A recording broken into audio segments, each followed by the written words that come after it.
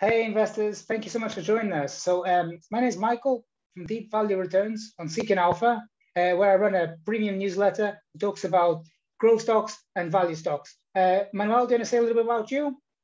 Yep, I'm Manuel. You can read all of my stuff at allinstocks.com. And today we're going to be talking about a company that Michael is bringing us. What is the name of the company, Michael? So the company is called AppLovin. Um, it's quite exciting to bring this one up, particularly right now because uh, a lot of ad, a lot of ad tech companies and a lot of growth companies have just sold off so substantially um, in the past several months. So I think this is quite an interesting one. Uh, I'm not sure if you have the time to have a kind of a look at it. Do you have time to have a look at it a little bit? Mm-hmm, I have. I cool, cool. I've read I, both of your pieces on the on the company, cool, and cool. actually interested. Okay. So, so very interested in knowing more about it.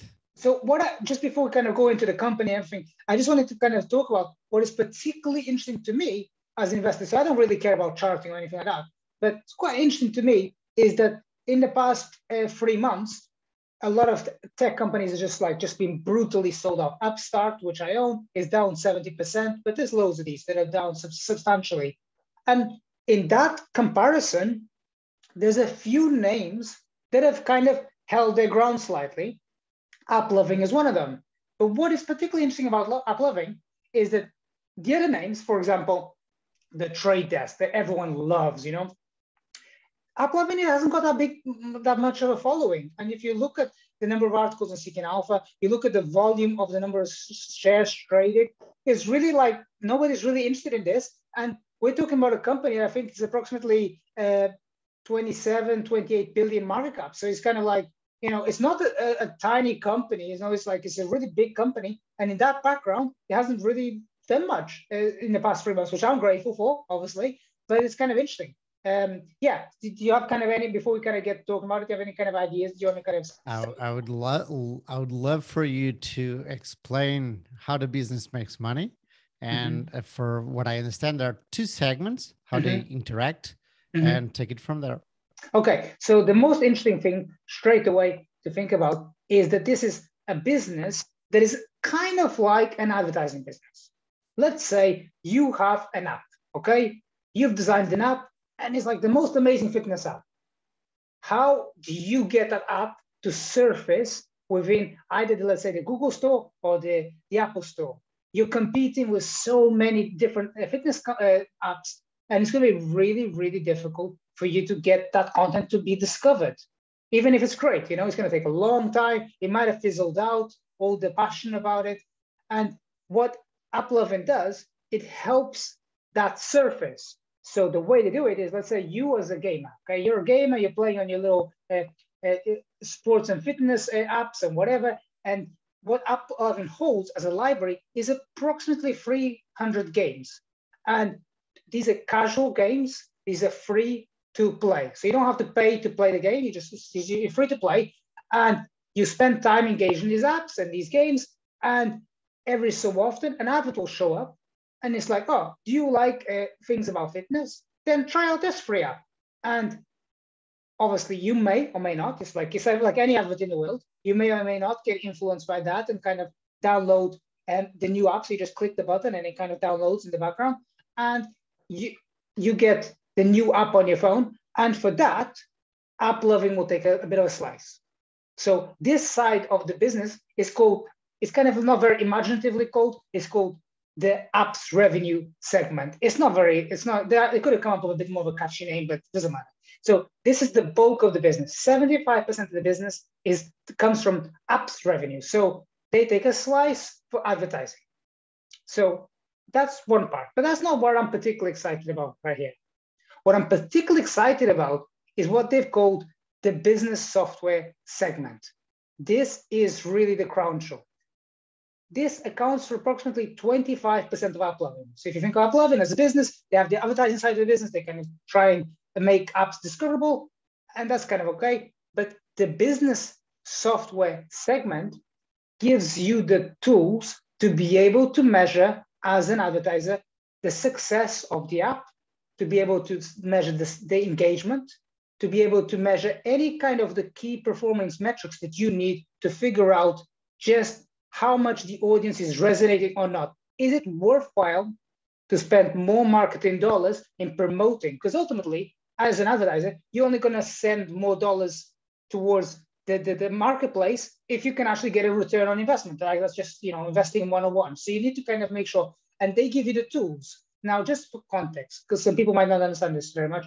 So if you look back and look at Snap, the, the company Snapchat, and in Q3, they dramatically sold off. And the reason why they sold off is because when Apple made the changes on their iOS, you're not able to track the, the, the third party data as successfully. So in the case of Snapchat, you know, they had a bit of a setback because they're not, when they come, the advertiser comes to them, they're like, how successful is my advert? I have no idea. You know, I now have to use your software, uh, Snap software to check out when it's inside your platform, when it's outside your platform, I have to use the Apple software. And it's a bit confusing. And it's, you know, uh, for advertisers, being able to measure, have the tools to measure the success of the ad is really, really important. And in the case of AppLovin, this is really a high margins business for them, but they don't give you any kind of granularity on it. They tell you like what the consolidated total uh, free cash flow is of the business, which we'll come to later. But essentially, just to think about it, there are two sides of the business. There's the big side, which is the advertising side, is 75% of the business, and there's a small side. The small side, which is the business software side, is 25%, but it's growing really, really fast. Does, does this make sense so far? Yep, completely. Okay. So within that business uh, software side, what I've always found is to be really instructive and insightful to understand whether the business has the potential to be a success or not is to follow the customer. Now, just let me take a back step here one second. So it doesn't matter how you invest. You can be investing on, let's say, an hourly basis, a yearly basis, or a 10 year basis. It doesn't matter. All you're trying to do is compound your portfolio over time. But what you need within that is conviction to stick to your strategy because no strategy works perfectly every day, right? You're going to have sometimes it works, sometimes it doesn't, but you need conviction that your strategy works. And for me, the way that I build conviction is trying to understand either the user growth or the customer growth. If I see, like in the case of AppLovin, that the, the number of customers within the business software was up 316% year over year, that's not including any kind of um, acquisitions. That's just them organically compared to the previous 12 months. So anytime a business does an acquisition, they have uh, over the next 12 months, they have inorganic growth. But if you subtract out the new acquisition, because if you include the new acquisition, the number of customers was actually up 358% year over year. So, but just forget the acquisition that they made, just look at what they've made relative to the previous year is up more than 300%. So with that in mind, you see that the clients, they call it um, uh, special uh, enterprise uh, clients or something like that, as, and it doesn't matter, just customers essentially. The, the customer is resonating so strongly that they have approximately net retention rate. That means uh, how, how much, how sticky the, the product is, is approximately 150%. And you get a lot of retention within the cohort, but you still get also a huge bump in the number of customers coming to your platform. So this to me is kind of like, okay, and there is some kind of question marks which one could make how viable is a strategy long term in terms of acquisitions, but just the kind of framework, if it makes sense so far, what I'm kind of describing uh, in terms of um, mm-hmm. what the business does and how the customer sees the potential for the business. Does that make sense so far? Yeah, I've got one or two minor mm-hmm. questions, um, yeah. which are, for instance, in the advertising business, I, I understand that they have a strong uh, first party data. Uh, so I've I play Sudoku in mm-hmm. uh, on the iPad, and every once in a while I get it's free to play, so I get uh, some advertisements. But the thing is, those ads aren't really relevant to me. How do these guys show uh, relevant ads? I know that they have first party data, so they have a lot of, of a lot of data. But the first ad, so they understand if I like boats or if I like tennis or whatever how do they get it that that that's one uh, so how strong is the how important is the first data first party data um, and then the second part the analytics from what i understood um, from your uh, from your explanation is it's basically an analytics platform right? So you, do they gain access to your all of your metrics and then just put it out there on a on a dashboard in a cool neat dashboard? Is that it? So i don't think that they so i'll take the, the I'll, I'll, try and take the first part of the question. So uh, in the case of your sudoku game they the person the, the app developer that made the, the game may or may not be the actual owner of the of that game itself so they may be adverts above the sudoku game which are not related to the company that made a Sudoku game. So in that example, just hypothetically, it would be a third party data. So that doesn't have a lot of value because they don't know who you are. They don't know anything about you. They don't know if you're male, or female. They don't know anything. Like they don't know your interests. So it's not very valuable to them. And that's why they're targeting you with quote unquote mass advertising. It's like stuff that you don't care about. You're never going to get resonate that. You're never going to click on that. It doesn't matter to you. In the case of uh, uh, AppLovin, so they have 300 games, which they own and they've acquired over time. And in fact, I saw some data somewhere. I'm just going to try and surface it real quick. I think that out of the 10 free to play, uh, top 10 free to play games, I believe that they had uh, two games. They, so, so they had two games within the top 10 most downloaded games. So it's clearly games that resonate very much with the community. And it's, it's, it's they own the, the IP on that on that game, and they will own all the information that comes out of it. So how many hours you spend engaged with? What hours do you spend engaged with? Is it morning? Is it night? Is it what, what kind of person? What does it do? What does the person go and play after this game? You know, kind of this kind of information is really, really valuable. So that kind of gives you some insight into the first party data because and that over time it also becomes like a reinforcing mechanism because the more they know about you, the more they, they know what you're going to go for next. It just builds up slowly over time it becomes much mm-hmm. more valuable. You become so valuable to the company, but not on day one, just over time, just understanding that. Mm-hmm. About the analytics portion of the, of, of the equation. So it's just how to, like, as you said, it's a software side on, it's like, it's kind of like you can think of it, although now it has a kind of bad connotation, software as a business, as a service. So, because all the SaaS stocks are sold off, but it's really what mm-hmm. it is, you know, it's, it, it's a SaaS business on top of a advertising business. So I, you know, it's cliche, but it's really the best of both worlds. You get a really strong amount of customer retention because the customer recognizes, okay, you know, this blows my mind. I spend, let's say, X amount, and I get a very large return. Now, like any advertising business, there is a the, the extra marginal dollar decreases the value of your return on investment. So the first, let's say, ten dollars, you get like a really huge bump, but after a while, it will saturate. So, but the customer seriously says, okay, you know, and that's why they have like something like 150% net retention rate over the last several quarters because the customer's like, okay, this is, makes a lot of sense to me. I'm, it's really compelling and it's worthwhile uh, investing and staying on the platform here. Um, so I think that like, just to give some context to some numbers here. So I was kind of calculating here and I was looking at this. So the business doesn't, as I already kind of talked about a few times, the business doesn't have a lot of um, capex. So it's a business that kind of what you uh, make in terms of the cash flow for operations, you're not having to invest in terms of capital expenditure. You could make the, the argument, which is a very valid argument, and I stand by that, that if you're acquiring, if you're a serial acquirer, therefore that should be factored into the amount of uh, into a kind of capex requirement because you know you have to buy new games to kind of re, re, replenish your library. So there is that argument. So that that's the way they grow, right? They acquire uh, other companies uh, with games, right? It's yes, the, correct. turf so, is, is, online games, right? Okay. That's right. But they also uh, every so often make an acquisition. Like recently, they made an acquisition which will complete now this month from Twitter. So they've bought a MoPub uh, from Twitter for about a billion dollars of cash and this is going to supplement their business side.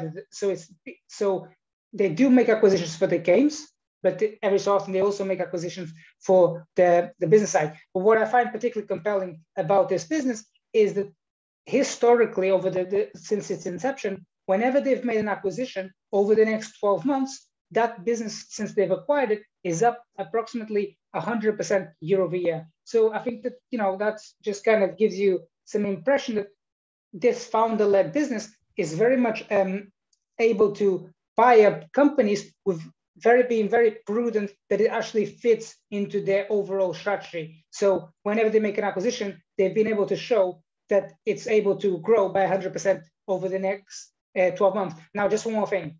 So as we look through to the business right now, Q3, for example, that they reported uh, back in November, it was up 90% year over year. Okay, it's a very strong rate, right?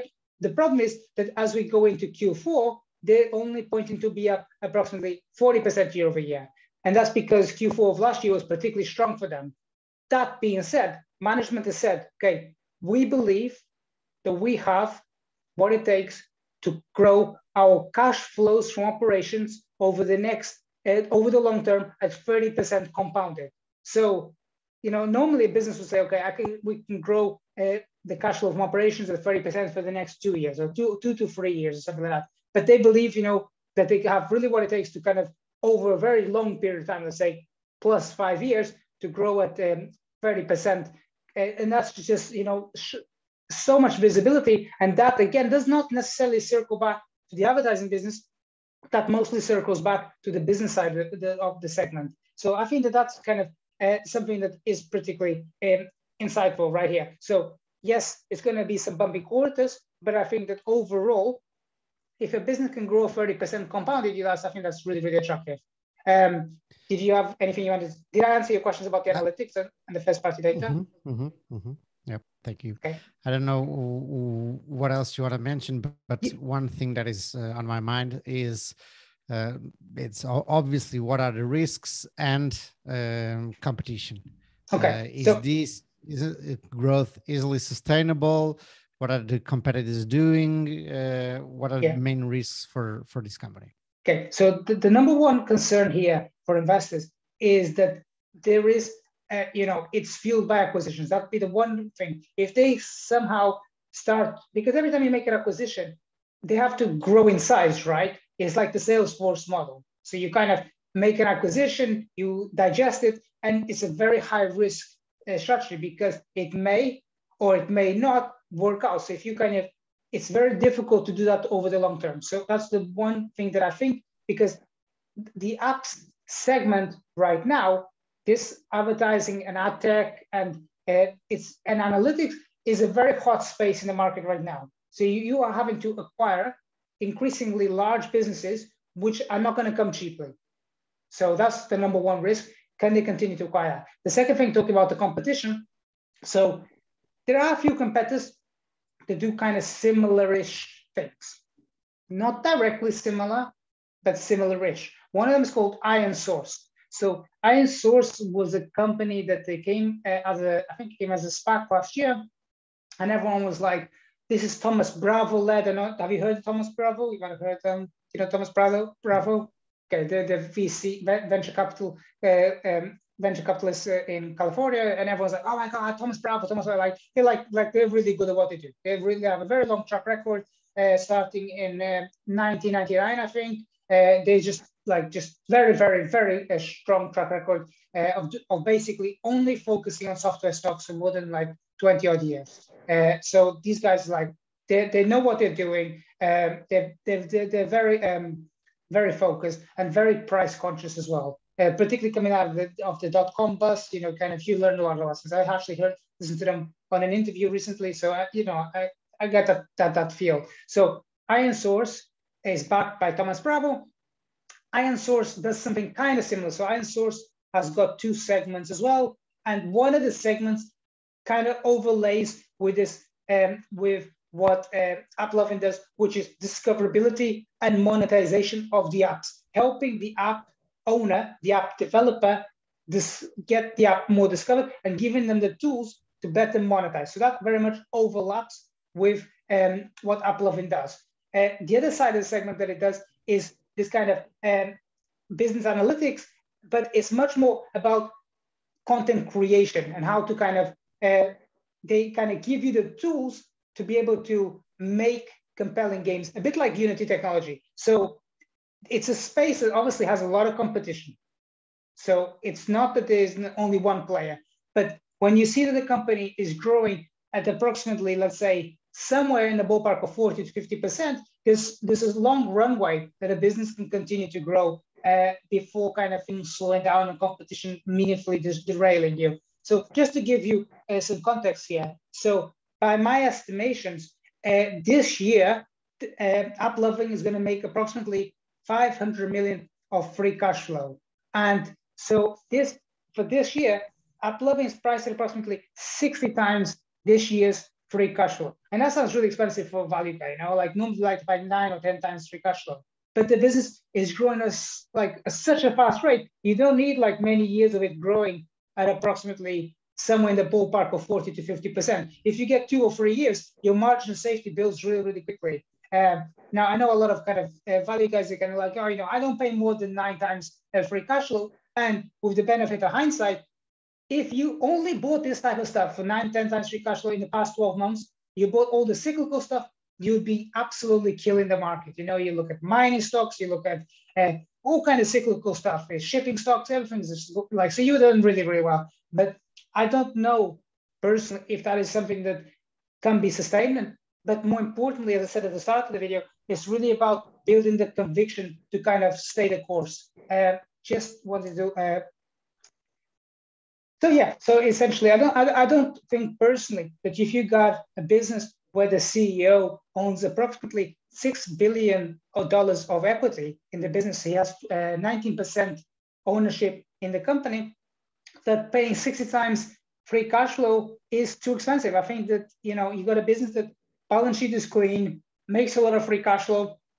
There's a question mark which may or may not be expensive paying 60 times free cash flow for a business that is clearly growing at somewhere between you know 40 to 50 percent compounded for a number of years. Um, it's it is. I mean, if you get if you're able to have the conviction to hold for this approximately, let's say two years, I think that it can easily grow into your margin safety. But you know, like everything in in in, in investing, it's just it doesn't matter what the structure is, as long as you have the conviction to kind of say, I don't know how these things are going to work out. Uh, I'm willing to kind of uh, let time do its thing. It's not about trying to time the market and being really intelligent here. It's just time spent in the market with the company, being the owner of that business. And uh, yeah, I think that's. Um, whenever I look at a company at 60 times earnings or 60 times free cash flow, I get pause and I think, what is this implying? And are these growth rates um, sustainable?